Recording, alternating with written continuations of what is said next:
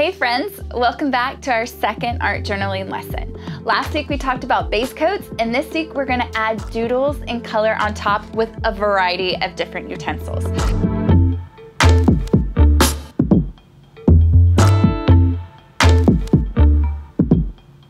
I love to doodle things that are inspiring me. So quotes, song lyrics, things I'm reading.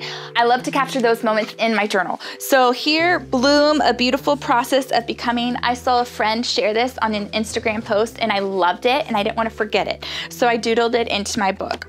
Something else, a song lyric that is speaking to you, you can try to capture that lyric and just writing it down. When all the virus stuff broke out and schools had to modify and change, this was something that was speaking out to me, positive thinking, because it's easy to have negative thoughts, but I wanna have beautiful, positive thoughts in my mind as much as possible because then that comes out in my actions. You can add a quote that stands out to you. I feel that there is nothing more truly artistic to can't read upside down. I feel that there is nothing more truly artistic than to love people by Vincent van Gogh. I love that quote because art is a process and you know, loving people is a process as well. I hope as you doodle, you will capture words that are standing out to you, things you're reading, and you'll capture it in your book. Don't worry about your font. Um, I would say I don't like my font, and sometimes I do it really thin, and I go back over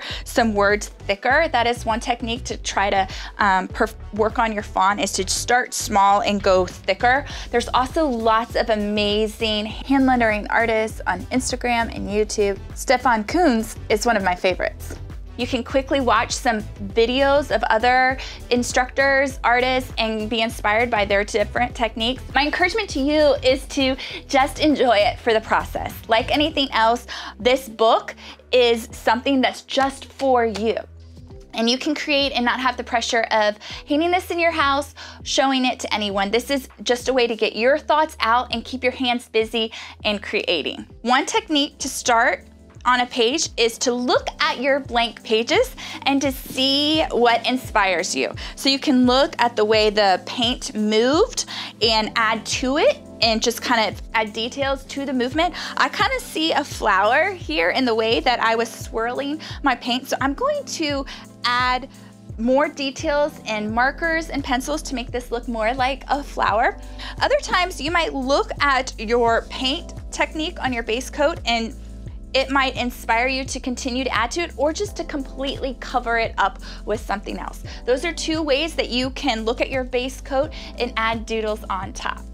So I'm going to begin by just adding some more color into my pages. I like what I started here with some of my paint swirls. So I'm just going to doodle around it with a paint marker.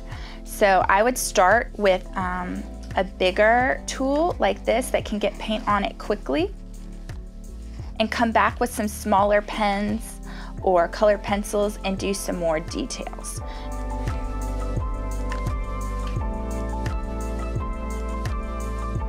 Right now I'm trying to follow the movement of my paint lines and just add more detail in and around them.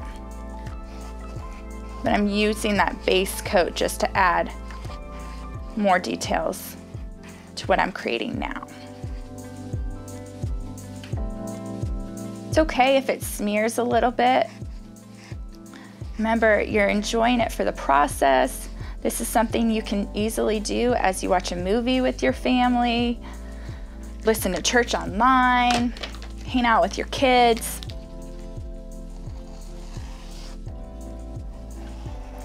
You also get to, you're still playing. So you can see the green doesn't show up a lot here. So I'm gonna switch it out and get something darker.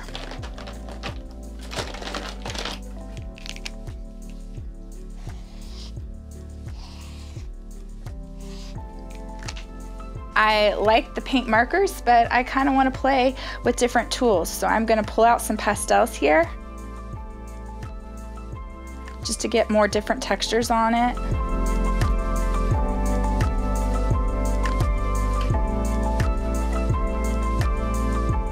So here I did green on the inside of that petal. On this one, I'm gonna just outline it and I'm gonna switch tools to something else.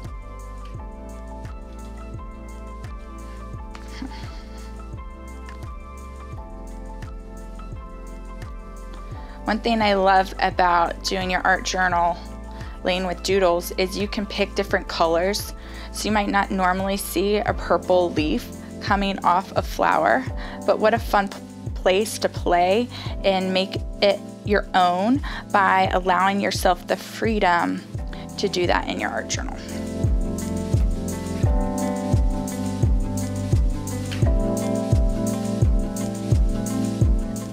Now that I have some big color on there, I'm gonna come back with some smaller pens and add more details into my flower. But as you can see, that base coat got me started, but now with the doodling on top, it's a little bit more obvious that I've created a flower.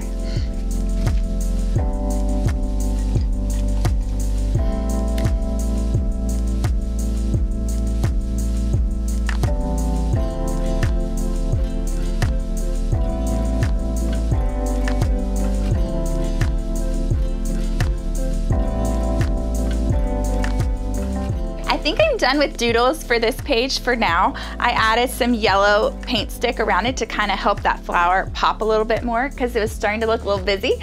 But again, it's just for the process for fun. I'm done with it for now. I'll probably come back and add more to it when we're doing some collaging.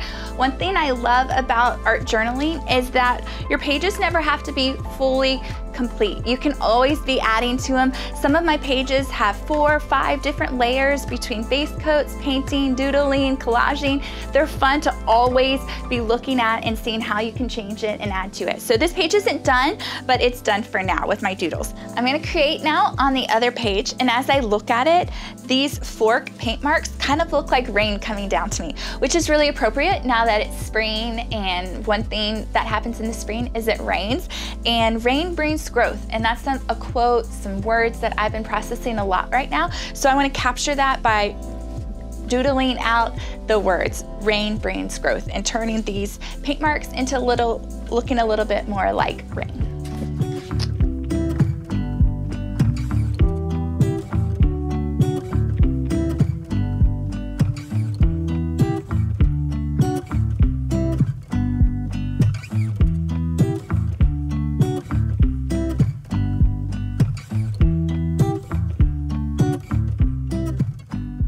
One thing you can do with your washable markers is dip a Q-tip or paintbrush in some water and kind of quickly go over it and it kind of spreads out your paint a little bit to make it look a little bit more watercolory, which is fun to play with.